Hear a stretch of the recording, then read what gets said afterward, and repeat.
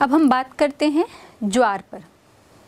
ज्वार जो है ये सामान्य रूप से खरीफ और रबी दोनों मौसम की फ़सल होती है।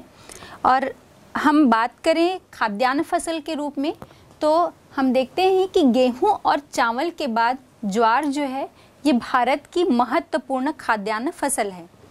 लेकिन पूरे प्रायद्वीपीय भारत की ये आ, सबसे महत्वपूर्ण जो है खाद्य पदार्थ कहें हम या खाद्यान्न फ़सल है।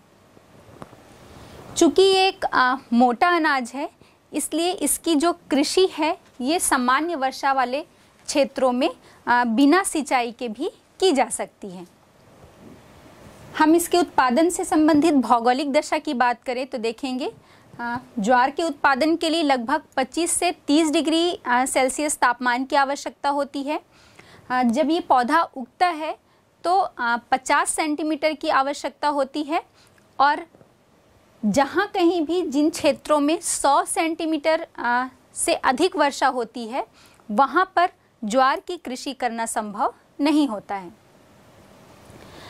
मिट्टी की हम बात करें तो जलोड़ और चिकनी मिट्टी ज्वार के उत्पादन के लिए सबसे अधिक उपयुक्त होती है।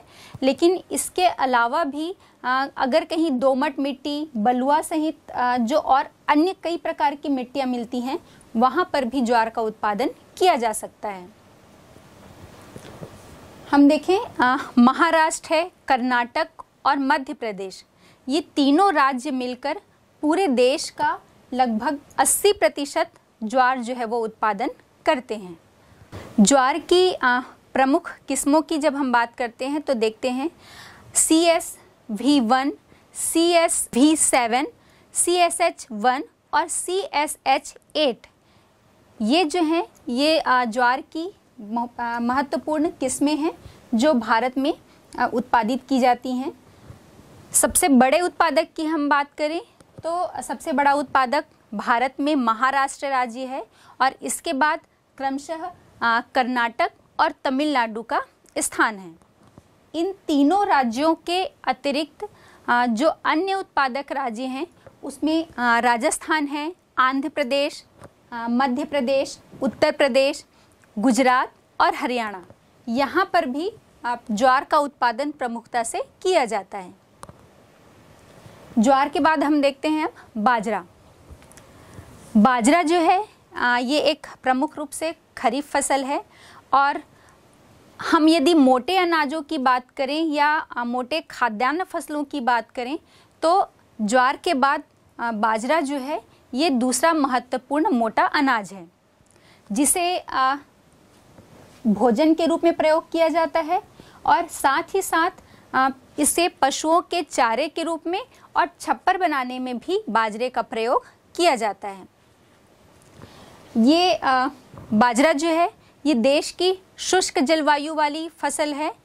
अब भौगोलिक दशाओं के विषय में बात करें तो इसके उत्पादन के लिए लगभग 25 डिग्री से 30 डिग्री सेंटीग्रेड तापमान की आवश्यकता होती है। 40 से 50 सेंटीमीटर वार्षिक वर्षा आवश्यक होती है। और मिट्टियों में हम देखें तो हल्की जो बलुई मिट्टी होती है और इसके साथ ही साथ काली और लाल मिट्टी में भी इसका बहुत अच्छी तरह से बाजरे का उत्पादन किया जाता है। भारत का आ, लगभग आधा उत्पादन बाजरे का अकेले राजस्थान में आ, किया जाता है या राजस्थान से प्राप्त किया जाता है और इसके अतिरिक्त राजस्थान के अलावा हम देखेंगे कि महाराष्ट्र हैं उत्तर प्रदेश हैं और आ, गुजरात। यहाँ पर भी प्रमुखता से बाजरे का उत्पादन किया जाता है। बाजरे के प्रमुख किस्मों के विषय में बात करें तो हम देखते हैं कि बाबापुरी मोती और एच बी थ्री और एच बी फोर जो है इसकी प्रमुख किस्में हैं। बाजरे के बाद देखते हैं हम मक्का।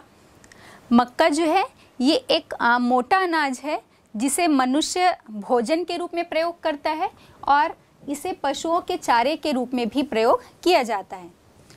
महत्वपूर्ण भौगोलिक दशा के विषय में बात करें तो देखते हैं, तापमान लगभग 25 से 30 डिग्री सेंटीग्रेड तापमान की आवश्यकता होती है।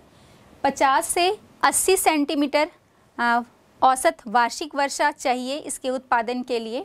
और नाइट्रोजन युक्त जो गहरी दोमट मिट्टी है, वो इसके उत्पादन के लिए सर्वाधिक अनुकूल होती है। पूरे भारत में सबसे अधिक उत्पादन कर्नाटक में किया जाता है। और इसके बाद हम देखते हैं कर्नाटक मध्य प्रदेश और बिहार का स्थान आता है। तो ये हो गए मोटे अनाज या मोटी खाद्यान्न फ़सलें। अब दलहन फ़सलों के विषय में बात करते हैं हम दालें।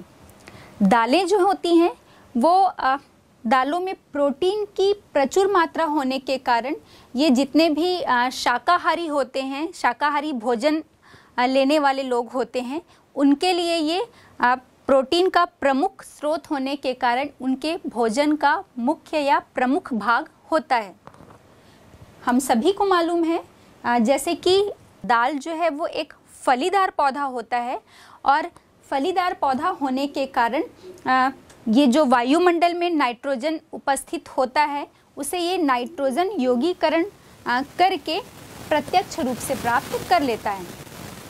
और चूँकि इसमें नाइट्रोजन ये प्रदान करता है भूमि को, इसलिए ज़मीन में या मृदा में नाइट्रोजन की उपलब्धता हो जाती है और इसके कारण प्राकृतिक रूप से उस स्थान की मृदा का उपजाऊपन जो है वो बढ़ जाता है। भारत के लगभग सभी भागों में ऐसे दाल का उत्पादन किया जाता है, लेकिन हम अधिकतम उत्पादन की बात करें तो दक्कन का पठार है, मध्य पठारी भाग है और इसके साथ ही साथ उत्तर पश्चिम के जो शुष्क भाग या स्थान है, उन क्षेत्रों में भी दालों का उत्पादन किया जाता है। पूरे देश में जितनी भी फ़सलें उत्पादित की जाती हैं या उसके कुल बोए गए क्षेत्र का लगभग 11 प्रतिशत जो है, वो दालों का होता है और हम भारत में देखेंगे कि जो अधिकांशतः जो दालें होती हैं, वो अन्य फ़सलों के साथ शस्यावर्तन करके उगाई जाती हैं, ताकि उन क्षेत्रों में मृदा का जो उपजाऊपन है वो बढ़ जाए। मतलब पहले चावल उगा लिया, फिर दालों का उत्पादन कर लिया या गेहूँ का उत्पादन, उसके बाद फिर दालों का उत्पादन कर लिया तो नाइट्रोजन मिलने के कारण उस स्थान की मृदा की जो उर्वरता है वो क्रमशः बनी रहती है। हम भारत में देखेंगे तो चना और अरहर या हम जिसे तुअर भी कहते हैं, ये भारत की महत्वपूर्ण दालें हैं। हम बात करते हैं चना के विषय पर। तो चना जो है, ये उपोष्ण कटिबंधीय क्षेत्रों की फ़सल है। ये मुख्य रूप से वर्षा आधारित फ़सल है और हम देखते हैं कि ये हमारे भारत देश में मध्य क्षेत्र में पश्चिमी क्षेत्र में और उत्तर पश्चिमी जो भाग हैं, वहाँ पर रबी की फ़सल के रूप में उगाई जाती हैं। चूँकि ये रबी की फ़सल है, इसलिए हमें पता है रबी की फ़सल जो है लगभग सितंबर से नवंबर के मध्य में इसकी बुआई की जाती है और फरवरी से अप्रैल के बीच में इसकी कटाई कर ली जाती है। हम भौगोलिक दशा के विषय में बात करें तो देखते हैं तापमान तापमान 20 डिग्री से 25 डिग्री सेंटीग्रेड तापमान की आवश्यकता होती है और लगभग 40 से 50 सेंटीमीटर वार्षिक वर्षा इसके लिए आवश्यक होती है। सबसे बड़ा उत्पादक या हम कहें कि सर्वाधिक उत्पादन करने वाला जो राज्य है, वो मध्य प्रदेश है और ये पूरे भारत का जितना भी दाल उत्पादन होता है, उसका लगभग 41 या 41 परसेंट जो उत्पादन है वो मध्य प्रदेश करता है। इसमें जो प्रमुख जिलों की हम बात कर लें तो हम देखते हैं विदिशा है, भिंड, मुरैना, इसके साथ ही साथ जबलपुर, होशंगाबाद जो है, यहाँ पर प्रमुख रूप से दालों का उत्पादन किया जाता है। दूसरा स्थान भारत में राजस्थान का है और राजस्थान जो है, वो लगभग तेरह प्रतिशत उत्पादन करके भारत में दूसरे स्थान पर है और यहाँ पर हम देखते हैं गंगानगर, अलवर अलवर के साथ झुंझुन और हनुमानगढ़। यहाँ पर प्रमुख रूप से दाल का उत्पादन होता है।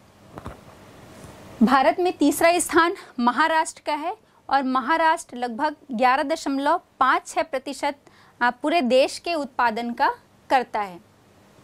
यहाँ पर औरंगाबाद, नासिक, नांदेड़ ये जो हैं महाराष्ट्र के प्रमुख उत्पादक ज़िले हैं या स्थान हैं।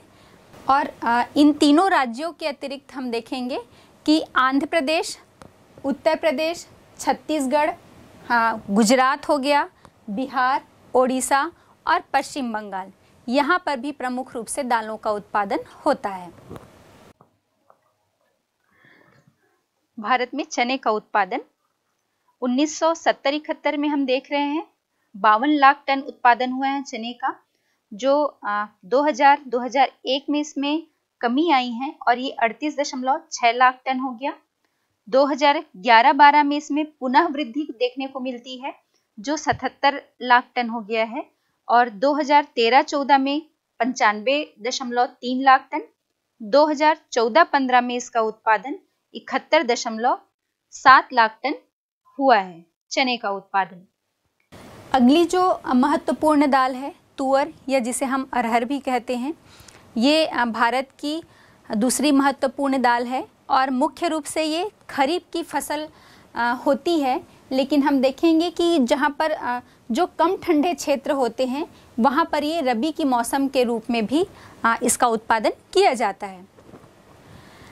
ज्वार, बाजरा, रागी, कपास, मूंगफली, इन सभी फ़सलों के साथ इसे शुष्क फ़सल के रूप में या फ़सल संयोजन के रूप में उगाया जाता है। भौगोलिक दशाएँ तो तुअर या अरहर के उत्पादन के लिए लगभग 20 से 25 डिग्री सेल्सियस तापमान की आवश्यकता होती है।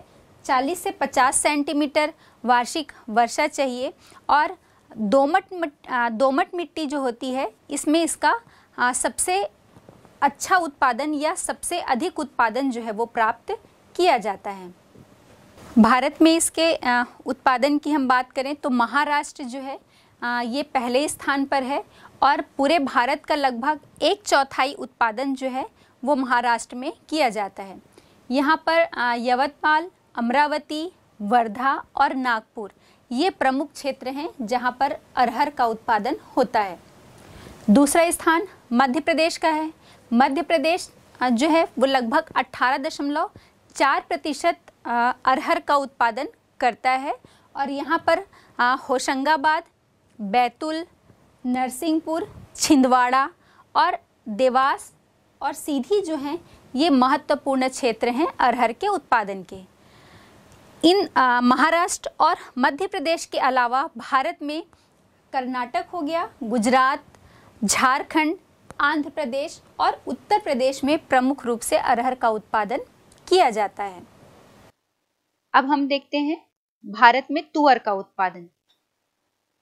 भारत में तुअर का उत्पादन उन्नीस सौ में अठारह दशमलव आठ लाख टन 2000 2001 के दौरान बाईस दशमलव पाँच लाख टन, जो बढ़कर 2011-12 में छब्बीस दशमलव पाँच लाख टन हो गया है। और इसमें पुनः वृद्धि देखने को मिलती है 2013-14 के दौरान, और ये बढ़कर इकतीस दशमलव सात लाख टन हो गया है। और 2014-15 के दौरान इसमें थोड़ी कमी देखने को मिल रही है, जो उत्पादन घटकर सत्ताईस दशमलव आठ लाख टन हो गया। तो ये हो गई दलहन फ़सलों की बात। अब हम देखते हैं तिलहन फ़सलों के विषय में। तिलहन फ़सलें जो होती हैं हमें पता है, बच्चों आप जान रहे हैं कि तिलहन फ़सलों से तेल प्राप्त किया जाता है और तिलहनों से जो तेल निकलता है, उसका प्रयोग हम घरों में खाना बनाने के लिए दवाइयाँ बनाने के लिए और अलग अलग उद्योगों में हम बात करें तो जैसे साबुन हो गया या मशीन का तेल या पॉलिश और मोमबत्ती। इस प्रकार के उद्योगों में भी इन तिलहन फ़सलों से निकलने वाले तेल का प्रयोग किया जाता है। तिलहनों से तेल निकालने के बाद जो खली बच जाती है, ये खली जो है, वो पशुओं के लिए एक पौष्टिक आहार का काम करती है। अब हम देखें कि जिन क्षेत्रों में या जिस भूमि में जैसे दलहन फ़सलें लगाने से नाइट्रोजन की पूर्ति होती थी, उसी प्रकार इन तिलहनों तिलहन फ़सलों को लगाने से भी उस भूमि में नाइट्रोजन जो है, वो बढ़ता है। और साथ ही साथ उस पूरी भूमि की जो मृदा होती है, मिट्टी होती है, उसकी उर्वरा शक्ति में वृद्धि हो जाती है। अब हम देखते हैं कि प्रमुख तिलहन फ़सलें कौन कौन सी हैं। तो उसमें हम बात करते हैं। पहला है मूंगफली। मूंगफली जो है, ये एक ब्राज़ील मूल का पौधा है। मतलब ब्राज़ील जो है, वो इसकी जन्म स्थली है। और भारत की हम बात करें तो भारत की ये एक महत्वपूर्ण तिलहन फ़सल है। कुल उत्पादन में जो है 50 प्रतिशत और उससे भी अधिक जो उत्पादन है वो मूंगफली का किया जाता है। मूंगफली की गिरी में प्रोटीन और विटामिन ये बहुत प्रचुर मात्रा में होती है। इसीलिए इसीलिए हम ये देखेंगे कि सस्यावर्तन जो किया जाता है फ़सलों में, इसके लिए ये बहुत ही उपयोगी होती है। मिट्टी को नाइट्रोजन तो इससे मिलता ही है। अब भौगोलिक दशा के विषय में बात करें तो हम देखते हैं कि लगभग 20 से 30 डिग्री सेल्सियस तापमान की आवश्यकता होती है मूंगफली के उत्पादन में और वर्षा जो है वो लगभग 50 से 75 सेंटीमीटर वर्षा की आवश्यकता होती है। जो पाला है किसी स्थान की जलवायु जहाँ पर पाला पड़ता है, या हम कहें कि बहुत लंबी शुष्क अवधि होती है, या बहुत लंबी वर्षा वाली जो अवधि होती है, ये इसकी फ़सल के लिए हानिकारक या नुकसानदेह होती है। उत्पादन के विषय में बात करें तो गुजरात जो है, ये पहले स्थान पर है मतलब पूरे भारत में सर्वाधिक मूंगफली का उत्पादन गुजरात में होता है। वर्ष 2014-15 में हम देखें तो लगभग 34 प्रतिशत उत्पादन जो है वो भारत का वो गुजरात में किया गया था, मूंगफली का। और इसके जो प्रमुख क्षेत्र या प्रमुख जिलों की हम बात करें तो हम देखते हैं कि जूनागढ़ है, जामनगर, अमरेली, राजकोट, भावनगर और सूरत यहाँ के महत्वपूर्ण क्षेत्र हैं, जहाँ पर मूंगफली उत्पादन किया जाता है। दूसरा स्थान जो है, वो तमिलनाडु का है और तमिलनाडु जो है, वो भारत का 14 प्रतिशत मूंगफली का उत्पादन करता है। तमिलनाडु के बल्लालार अरकाट और इसके साथ ही सेलम और तिरुचिरापल्ली जो हैं, वो तमिलनाडु के प्रमुख मूंगफली उत्पादक क्षेत्र हैं। तीसरा स्थान आंध्र प्रदेश का है और हम देखेंगे कि आंध्र प्रदेश में लगभग देश का 12 प्रतिशत मूंगफली उत्पादित किया जाता है। आंध्र प्रदेश के ही कौन कौन से क्षेत्र हैं? तो हम देख रहे हैं यहाँ पर चिंतूर है, कुरनूल है और अनंतपुर। ये प्रमुख क्षेत्र हैं जहाँ पर मूंगफली प्रमुखता से उत्पादित की जाती है। अब गुजरात, तमिलनाडु और आंध्र प्रदेश, इन तीन राज्यों के अतिरिक्त अन्य उत्पादक जो राज्य हैं, वो आपका कर्नाटक है, महाराष्ट्र है मध्य प्रदेश है और राजस्थान है, जहाँ पर प्रमुख रूप से मूंगफली का उत्पादन होता है। भारत में मूंगफली का उत्पादन 1970 में लगभग 61 लाख टन उत्पादन हुआ था मूंगफली का, जो बढ़कर उन्नीस सौ नब्बे इक्यानवे में पचहत्तर दशमलव एक लाख टन हो गया। 2011-12 में उनहत्तर दशमलव छः लाख टन है। 2012-13 में सैतालीस दशमलव शून्य लाख टन हुआ और इसमें लगातार वृद्धि हमें मिल रही है, जो 2014-15 में बढ़कर पैंसठ दशमलव छह लाख टन हो गया है। हमने बात की थी तिलहन फ़सलों में कि दो जो है वो प्रमुख तिलहन फ़सल हैं भारत के, पहला मूंगफली और दूसरा लाही, या हम जिसको तोरिया और सरसों भी कहते हैं। देखते हैं, मूंगफली के बाद तोरिया और सरसों भारत के दूसरे महत्वपूर्ण तिलहन फ़सलें हैं। इनमें इन फ़सलों में तेल की जो मात्रा है, वो 25 से 45 प्रतिशत तक होती है। और हमें पता है, इसका उपयोग जो है, वो खाना बनाने के लिए अचार डालने के लिए और अन्य बहुत सारे उपयोग जो हैं, इनके किए जाते हैं। ये जो है तोरिया या सरसों ये सामान्य रूप से हम देखेंगे कि गेहूँ, जौ चना मटर आदि के साथ मिश्रित फ़सल के रूप में इन्हें उगाया जाता है। इन्हीं फ़सलों की भांति इसे हम देखते हैं सतलज गंगा जो मैदान है उसकी सम शीतोष्ण जलवायु में ही ये पौधा जो है या ये फ़सल जो है वो अच्छी तरह से उत्पन्न होती है और हम अपने दक्षिण भारत में देखें तो दक्षिण भारत की जो उष्ण जलवायु है ये आ, इस क्षेत्र में यह फ़सल जो है वो बहुत उगती है लेकिन आ, इसकी अलग से जो खेती है वो बहुत कम होती है। इसे मिश्रित फ़सल के रूप में ही अधिकांशतया उगाया जाता है। तोरिया और सरसों का उपयोग जो है इसका लगभग 82 परसेंट जो हिस्सा है या उत्पादन का बयासी प्रतिशत भाग तेल के लिए 10 प्रतिशत लगभग जो हिस्सा है वो खाद के लिए, पाँच प्रतिशत भाग जो है वो बीज के लिए उत्पादित किया जाता है और लगभग शेष जो तीन प्रतिशत बचा उसे निर्यात कर दिया जाता है। तो ये हो गई अलग अलग फ़सलों के उत्पादन के विषय में बात। बच्चों, आपको बोर्ड परीक्षा के हिसाब से तैयार करना है कि हमने जितनी भी दलहन फ़सलें, तिलहन फ़सलें, खाद्यान्न फ़सलें या रेशेदार फ़सल की बात की है तो इनकी भौगोलिक दशाएँ किस प्रकार की होनी चाहिए आपको पता होना चाहिए। उत्पादन में भारत का स्थान सभी के लगभग दो से तीन जो उत्पादक क्षेत्र हैं या उत्पादक राज्य जो हैं वो आपको याद होने चाहिए। जायद फ़सल क्या है? खरीफ और रबी फ़सल क्या है? हो सकता है इन्हें परिभाषित करने और इनके दो दो उदाहरण सहित छोटे प्रश्नों के रूप में भी इसे पूछा जा सकता है।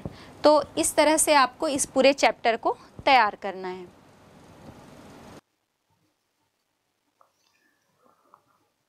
भारत में तोरिया और सरसों का उत्पादन।